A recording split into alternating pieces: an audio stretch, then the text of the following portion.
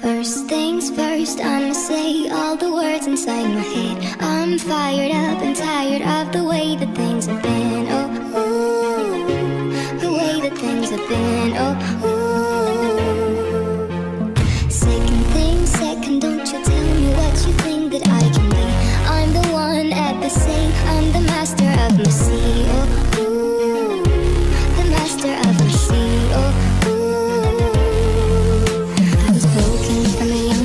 my soul into the masses, writing my poems for the few